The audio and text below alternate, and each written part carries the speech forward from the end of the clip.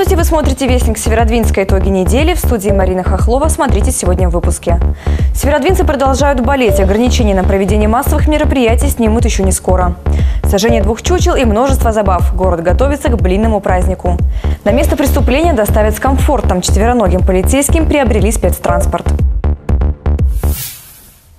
Эпидемия пошла на спад, но карантин никто не отменял. По данным Роспотребнадзора, заболеваемость ОРВИ в Северодвинске выше средних показателей по области на 26%. Впрочем, по сравнению с прошлой неделей показатели заболевших снизились. Показатель заболеваемости ОРВИ в Северодвинске ниже эпидемического порога уже на 4,7%. За прошедшую неделю зарегистрировано 2717 случаев респираторных инфекций. Это значительно ниже, чем две недели назад. В садах и школах обстановка стабилизировалась. Ситуация на сегодняшний день такая. У нас э, практически сегодня все группы абсолютно работают в дошкольных учреждениях. Один третий А-класс в 20-й школе на три дня выведен, пока временно, и ребята не учатся.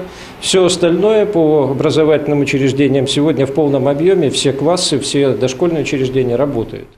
По региону ситуация лучше на 26%, поэтому Министерством здравоохранения Архангельской области принято решение снять ограничительные мероприятия во всех лечебных учреждениях. Поликлиники с завтрашнего дня начнут работать в штатном режиме, как и до эпидемии. Однако в администрации Северодвинска решили не снимать карантин на массовые мероприятия в городе, чтобы избежать второй волны респираторных заболеваний. Врачи также советуют не расслабляться. Ну, есть гомеопатические средства, также можно противовирусные есть в поддерживающей дозе. А витаминчики как посоветуете? Витамины курсом. Обычно вот весна сейчас уже, да, у всех витамины на исходе в организме. Поэтому тоже месяц примерно пропить. Если витамины, то в комплексе так называемые поливитамины. Если уже есть симптомы ОРВИ, температура, кашель, насморк, то противовирусные в первые 48 часов. Советы актуальны до конца весны, а карантин, возможно, окончательно снимут на следующей неделе. Уже в понедельник состоится рабочее совещание представителей здравоохранения, культуры и образования. Валентина Приходько, Наталья Габдрахманова, Вестник Северодвинска. Сожжение двух чучел – самый большой хоровод и море блинов. В городе готовится отметить Масленицу. Согласно одной легенде, праздник зародился на далеком севере. И чем веселее проведешь неделю перед Масленицей, тем благополучнее будет год. В городском музее рассказали о программе весеннего гуляния. Такие вот валенки появятся у нас на Масленице 13 марта. Будут украшать наш парк парке полным ходом подготовка к Масленице. 13 марта здесь заработает несколько площадок. Проголодавшиеся отведут вкусных блинов. Можно блеснуть и в конкурсе частушек. Катание с горки, танцевальный батл. А после штурма крепости – сжигание чучела Масленицы около 16.00. Еще летом организаторы заготовили солому, сейчас продумывают элементы костюма. Мужчины, а возможно и женщины, покажут свою силу и ловкость перетягивания каната и в тяге гири. Уже установлен 11-метровый столб, в этом году он выше на 5 метров. В прошлом году доставали призы с верхушки очень быстро. В этом задачу усложнили. Поэтому э, просим наших мужчин подготовиться э, к этим соревнованиям, потому что женщины с восхищением всегда э, смотрят на них, как они преодолевают трудные препятствия. Потому что подняться это еще, а спуститься это еще тоже э, другая задача. Потому что все у нас мужчины фактически оголяются, там, оголяют э, торс и зрелище незабываемое в зимний период времени. Говорят, чем веселее проведешь Масленицу, тем благополучнее будет год. 13 марта – 5 открытых площадок. В Приморском парке учащиеся 22-го училища угостят блинами. В 14.30 у ЦУМа зажгут чучело Масленицы. Развлекут горожан на площади Просянкина и на площади Победы. Здесь горожане поиграют в хоккей с мячом. От центральной площади северодвинцы пройдут в масленичном поезде до парка культуры. Приветствуются дресс-код, народные костюмы. Будут приглашенные звезды для того, чтобы наше мероприятие было наиболее ярким и красочным. Мы пригласили наших друзей из города Архангельска. Это образцовый цирк «Виссар». И самое главное, мы будем водить самые большие в Северодвинские хороводы. Площадь позволяет это делать. Поэтому в этом году на Масленицу приходите нарядные, приходите в хорошем настроении. Для северодвинцев объявлено три конкурса. Лучшая кукла-масленица, лучший народный костюм, лучшая снежная крепость или фигура из снега. Организаторы просят бережно относиться к снежным фигурам, не залезать и не ломать труд людей. Награждение победителей состоится в блинный праздник. Надо обязательно печь круглые и румяные, как солнышко, блинчики. Последние недели перед Великим постом. Только в это время можно есть масляные блины, жирно поливая их сметаной. Вот, наверное, потому и надо нам всем стараться, чтобы накопить силы перед долгим семинедельным Великим постом. В ЦКАИОМ, библиотеках, школах дополнительного образования и в молодежном центре пройдут мастер-классы и занятия на тему «Масленица». С историей познакомят и в городском краеведческом музее. Здесь ждут на выставку «Кукольная вечерка». Подробнее ознакомиться с условиями конкурсов и программой праздника можно на сайте городской администрации. Евгения Карелина, Наталья Габдрахманова, Вестник Северодвинска. 25-летний Анатолий Роман несколько лет привязан к инвалидной коляске. Поставить на ноги – сложнейшая операция в Тюмени. Она запланирована на середину марта. Лечение и проезд оплачены фондом социального страхования. А вот для оплаты услуг сопровождающего деньги не предусмотрены. Вы, по-моему, вели. Вели, чтобы Витя был здоров. Встать и побежать самостоятельно, как мальчик советского мультфильма, мечтает и Анатолий Роман. Молодой человек уже 6 лет прикован к инвалидной коляске. Всему виной серьезная травма шеи. Ее получил, занимаясь на турнике. Перекладина оказалась не закреплена. Поставить на ноги Анатолия может операция в Тюмени. 14 марта его ждут на операцию. У меня сейчас там запланирована операция на вживление электрода. Надежды, ну, самые большие, верю. 13 числа вылетаю. Сопровождающему волонтеру придется ухаживать за молодым человеком после операции в течение двух-трех недель. Необходимо где-то жить и питаться. На финансирование ни у Анатолия, ни у самого сопровождающего таких денег нет. До 13 марта необходимо собрать 90 тысяч рублей. У меня как бы сейчас одна цель – встать на ноги. У меня нет определения, я не смотрю как-то далеко. У меня есть сегодня, есть завтра. Хочу встать на ноги, и это все. То есть на данный момент мне это важнее всего. Мультяшному Вите повезло, ему встретилась неравнодушная девочка, а Анатолий надеется на неравнодушных северодвинцев. Деньги можно перечислить на карту помощника и волонтера Анатолия. Номер карты Сбербанка вы видите на экране. Продукты питания и вещи неизвестного качества и производства продают на городских улицах. Еженедельно с нелегальными продавцами борются специалисты администрации и полицейские. Я здесь стою, все. Стоит и продает товар без документов. Сегодня на место бывшего рынка на труда нагрянули специалисты администрации и полицейские. Даже во время рейда нелегальные продавцы продолжают торговать. Носки, да. Три года уже вот здесь вот у женщины покупаю. То есть, Хорошо. а вот скажите, чем они лучше, да, чем в магазине? Ну, у них ручная вязка хорошая, мне нравится, недолго носятся. А в магазине сразу протираются. А насчет продуктов, как считаете, с улицы? А продукты я не беру, потому что боюсь. За нелегальную торговлю продавцам выписывают предписание. Сергей Гончаров продает рыбу с 97 -го года. Регулярно оплачивает штраф до полторы тысячи рублей. Я ходил полгода по отделам кадров, меня никто на работу не брал. А у меня семья, ребенок. Я вот 16 уеду на две недели на озера. Я привезу килограмм 300 рыбы. Мне куда ее? Соседям бесплатно раздавать? Конечно, не буду. А у меня дорога 1010 обойдется, 15. Мне две бочки бензина только надо. А почему не в магазине покупаете, а на улице? Я думаю, что на улице вот посвежее продают. Но у них же нет ни документов, ни лицензии на эту рыбу. Не, не пугает это? Ну вот, пугает, да, мы все равно берем. Рискуете здоровьем? Да.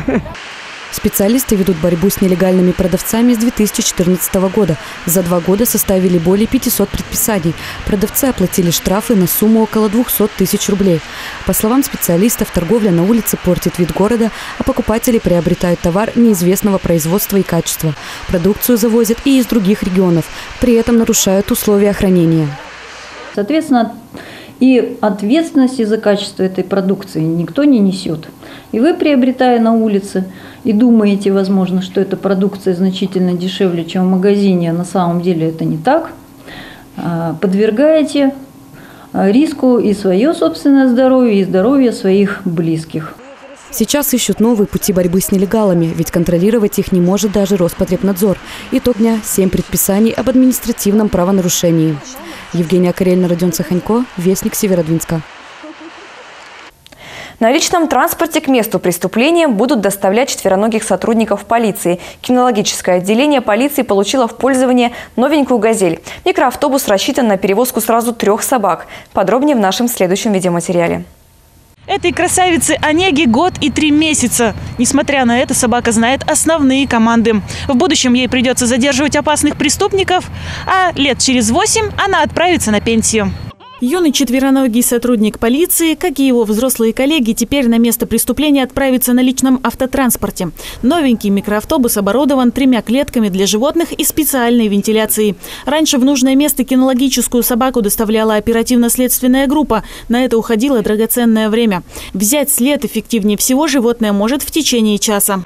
А теперь, то есть э, будет, э, скажем так, кинолог более мобильный, и он может быстрее приезжать на место происшествия, потому что кинолог на самом деле первым должен приезжать и первым начинать работу. Потому что, как правило, уже получается, проходит много времени, и работа уже становится невозможной. Сейчас кинологическую службу несут 17 собак. Среди них лабрадоры, ротвейлеры и немецкие овчарки. Четвероногие полицейские ищут взрывчатку или наркотики, занимаются розыском или патрулированием часов в 7 они просыпаются, в игру, гуляют пока. С 7 до 9 примерно гуляем их по очереди. А с 9 у них, как и везде, у всех завтрак. Два раза в день они у нас питаются. Кормят собак сбалансированным сухим кормом после завтрака, занятий и тренировки. Умница Джесси способна разыскать в закладке взрывчатку за считанные секунды, а в начале февраля другая собака помогла найти преступника. На яграх злоумышленник напал на девушку и отнял сумку. Собака сразу взяла след и прямиком повела до одной из ближайших общежитий. Привела к квартире, села, обозначила, что преступник здесь. Обследуя данную территорию, преступник выявлен не был. Но преступник был задержан на следующий день. И в процессе разбирательств выяснилось, что накануне до преступления за день преступник находился именно на этом же месте и с этого места проследовал вот в эту квартиру. Получается, собака спустя сутки смогла взять след и привести на нужное место. Обученные подопечные выручали северодвинских полицейских не раз. Лучшая награда собак – человеческая любовь и кусочек угощения на ладони. Елена Стеканова, Наталья Габдрахманова, Вестник Северодвинска. ГТРК приглашает принять участие в конкурсе «Ты репортер». Напоминаем, ваши фото и видео ждем на электронный адрес, который указан на экране. Автора самых интересных роликов ждет подарок от нашей телекомпании. Портал «Мир квартир» опубликовал рейтинг недоступности жилья в России. Первую строчку ожидаемо заняла Москва. На втором и третьем местах Крым и Севастополь. Далее Санкт-Петербург. Самое доступное жилье в Магаданской области, Ямало-Ненецком автономном округе, Сахалинской области, Ненецком автономном округе и Чукотском автономном округе. Теперь о погоде слово и ради.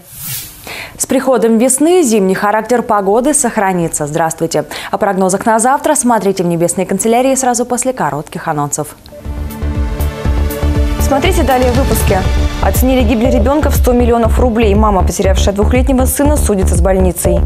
Тысячи километров, 16 собак и два путешественника. Северодвинцы встретились с Федором Конюховым.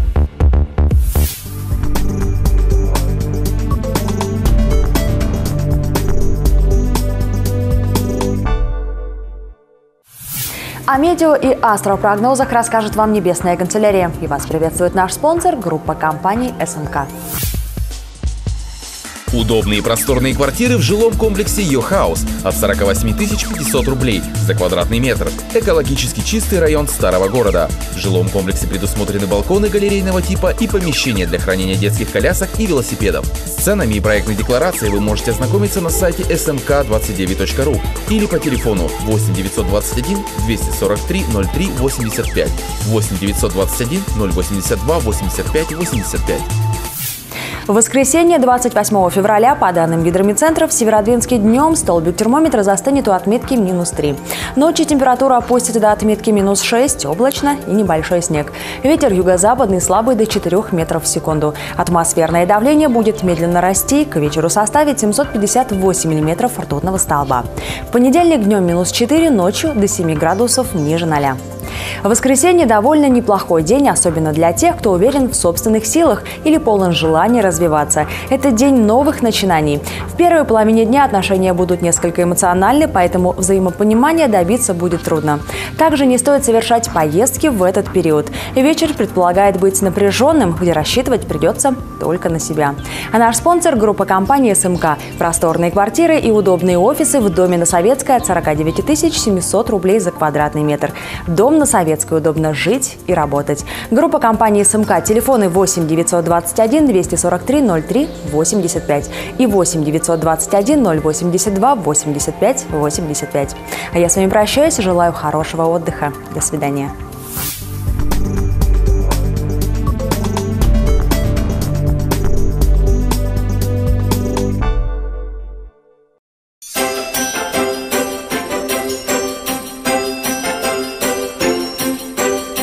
Купи квартиру в жилом комплексе холдинга «Аквилон Инвест» и выбери подарок. Чистовая отделка или скидка на квартиру. Звони 5240. Приходи в офис М15, проспект Морской, 15, третий этаж.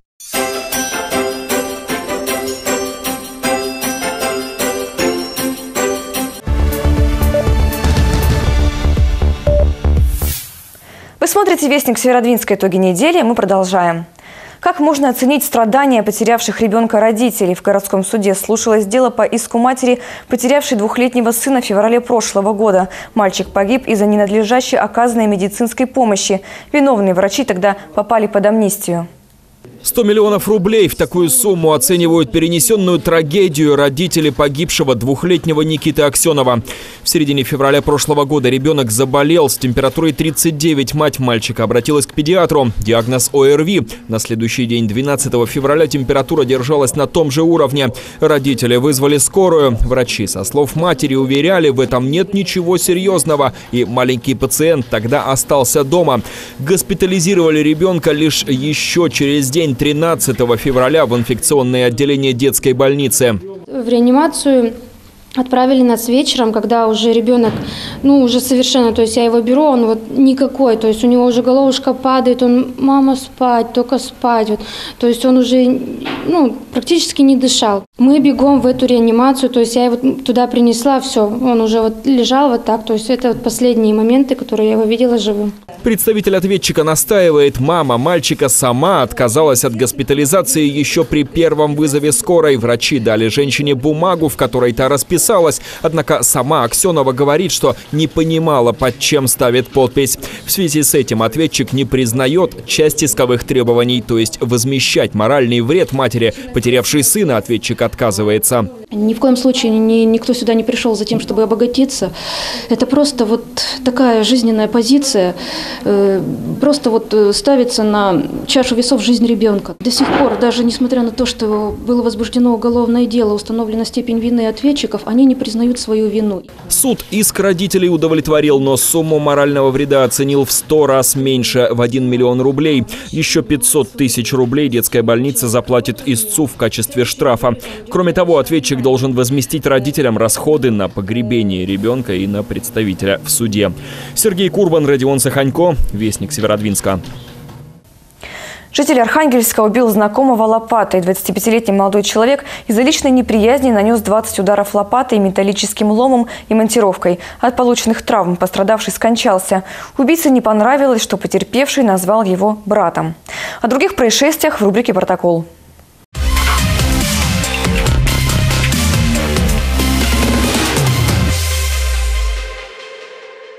Из-за вредной привычки северодвинец едва не поплатился жизнью. Огонь вспыхнул в квартире первого этажа на Октябрьской, 15. Пожарные эвакуировали шестерых жителей пятиэтажки. Из задымленной квартиры вынесли мужчину. Шум был, я открыл, тут туман, все, и, как сказать, дым шел, и все. Я потом закрыл, в квартире можно было находиться. Дверь закрыл, чтобы дым не шел. Ну, все. Ну, дебошил, дебошил. Ну, вы, ну, выпивал, да, наверное? Ну, как все люди выпивают. Мужчина получил термические ожоги 80% тела, а также ожог дыхательных путей. Личность пострадавшего пока не установлена. По словам соседей, там проживает одинокий 50-летний мужчина. Очаг возгорания – диван, на котором лежал хозяин. Предварительная причина пожара – неосторожное обращение с огнем при курении. Под на Паранихе провалился мужчина на снегоходе. Очевидцы вызвали спасателей. Ехал-ехал снегоход. И, и повернул тут как бы, в сторону моря говорит, исчез. Все. Говорю, как исчез? Я говорю, так наверное, за остров, типа, я не видел, заехал. Нет, говорит, потом сюда уже. Доставать транспорт из воды спасатели отказались. Служба спасения такими видами работ не занимается. По словам владельца техники, больше в этом происшествии никто не пострадал. В связи с этим инцидентом северодвинские спасатели обращаются к рыбакам и туристам быть предельно бдительными. Уже в феврале лед начал терять свою прочность. Такая мадам Плюшкина была замечена в Костроме. Соседи женщину ежедневно ругали и просили прибраться. А в Северодвинске конфликт с нерадивым соседом закончился убийством. В ноябре прошлого года в коммуналке номера 6 северодвинец стал скандалить из-за комнаты доверху набитой мусором. Так как мужчина был под градусом, ссора не закончилась словами. Как указывал в своих показаниях подсудимый, э, в определенный момент чаша терпения была переполнена, в связи с чем он взял в руки ряд предметов, которые использовал в качестве оружия, а именно деревянный пестик, ножик, и руками-ногами причинил тяжкий вред здоровью, который повлек уже смерть непосредственно потерпевшего на месте преступления. Сейчас идет судебное заседание. Борцу за чистоту грозит до 15 лет лишения свободы.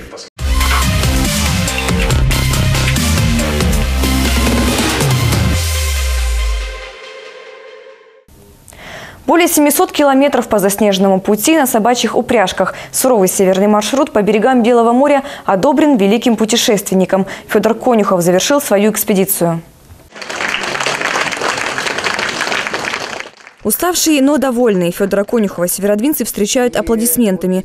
10 февраля на Нижской набережной Петрозаводска был дан старт экспедиции Федора Конюхова и Виктора Сименова на собачьих упряжках «Онежское поморье-2016». Своей цели путешественник достиг. На родине своих предков Конюхова губа Белого моря установил поклонный крест.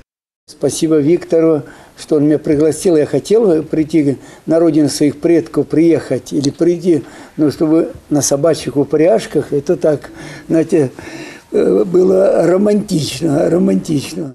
Посвятили экспедицию столетию основания первого в России Баргузинского заповедника, расположенного на территории Бурятии. Поход называют тренировочным, ведь ровно через год собаки повезут путешественников в Канаду. Маршрут этой экспедиции – Онега, Кянда, Пурнима, Лямца, Пушлахта, Летняя Золотица, Лопшинга, Яренька – финишировали участники в Луде. 16 собак промчались по территории двух национальных парков – Бадлазерского в Карелии и Онежское Поморье в Архангельской области. Был среди вот, этих 16 собак знаменитый пес Черке, который очередную свою экспедицию успешно прошел. И за его там 12 лет у них там у него их уже просто огромное количество. И там, где в каких странах он побывал, я думаю, что многие позавидовали бы ему. Вот, он в арктической части не был только на Аляске. В упряжках три вида собак – сибирские хаски, чукотские ездовые и таймырские ездовые. Животные отбирались в упряжку по весу, выносливости и манере ладить друг с другом. Средний вес собаки – 25-30 килограммов, сама упряжка – 200. Ежедневно собаки преодолевали по 60 километров при скорости 10-12 километров в час. Для хорошей работоспособности в корм добавляли мед и топленое масло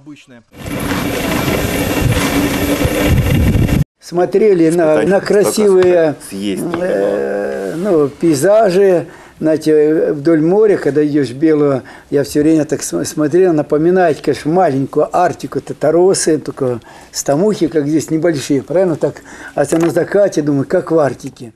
С Федором Конюховым встретился глава города Михаил Гмырин. Мэр вручил путешественникам памятные сувениры. В ответ участники поблагодарили за помощь в организации проведения экспедиции.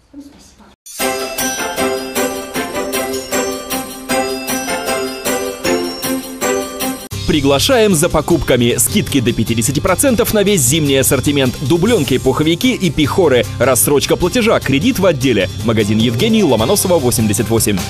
Просто делайте хорошую рекламу, и деньги придут. Телефон рекламной службы 598 900.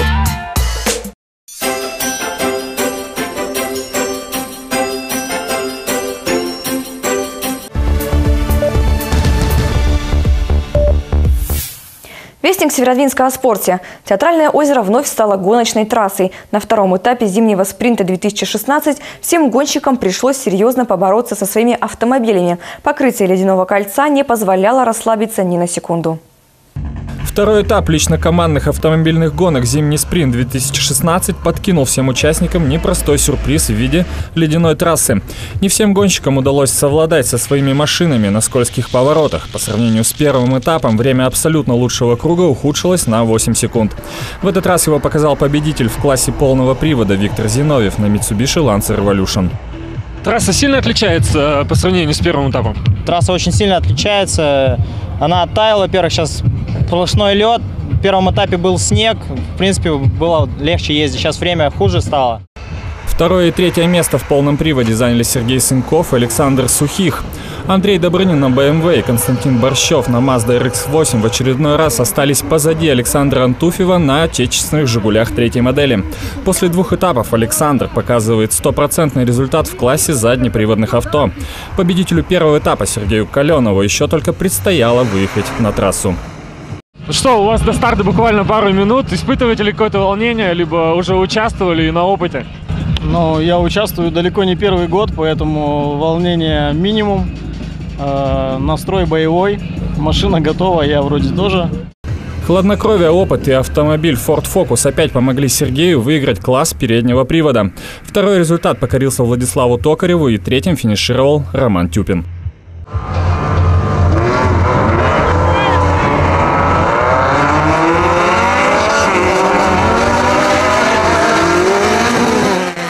Последними крошить лед отправились шесть гонщиков на спортивных болидах. Специально тюнингованные автомобили, в которых из штатного остались, пожалуй, только кузова, соревнуются с общего старта. В контактной борьбе самым быстрым пилотом, как и месяц назад, стал Артем Зелянин. Вторым финишировал Михаил Кузнецов и третьим Дмитрий Парамонов. Да, третий этап под вопросом. Если в марте ничего не растает, то, конечно, мы с удовольствием проведем. И я знаю, что участники все ждут, потому что это борьба за очки, за место. В конце сезона мы проводим, подводим итоги всего года и, значит, награждаем. Ну, у кого-то просто третий этап будет шанс, э, последний шанс вырваться на, значит, на тумбочку. Если капризная погода не растопит лед театрального озера, то в планах организаторов зимнего спринта провести еще несколько интересных соревнований. На стадии подготовки гонки на мотоциклах, а также на снегоходах. Константин Мухин, Семен Семигулин, Вестник Северодвинска. На сегодня это все новости. Чем удивит неделя следующая, узнаем в понедельник. Материалы выпуска вы можете посмотреть на нашем сайте северодвинск.тв. Смотрите нас и все узнаете первыми. До свидания.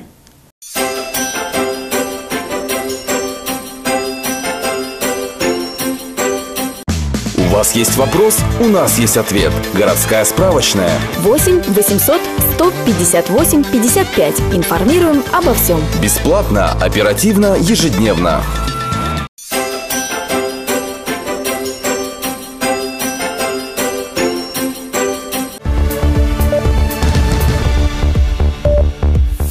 Спонсор прогноза погоды – сайт Северодвинска go29.ru.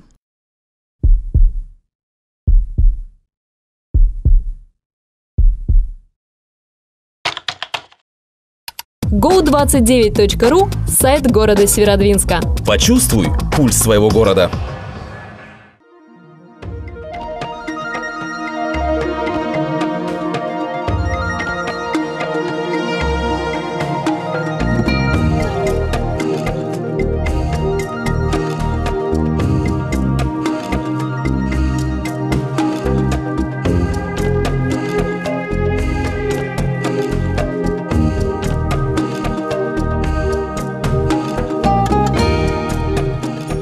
Воскресенье, 28 февраля в Северодвинске ожидается ветер южный, умеренный до 5 метров в секунду. Атмосферное давление в течение дня будет расти и к вечеру составит 759 миллиметров ртутного столба. Переменная облачность без осадков. Температура ночью минус 5, минус 3, днем 0 градусов. Спонсор прогноза погоды – сайт Северодвинска go29.ru. Почувствуй пульс своего города.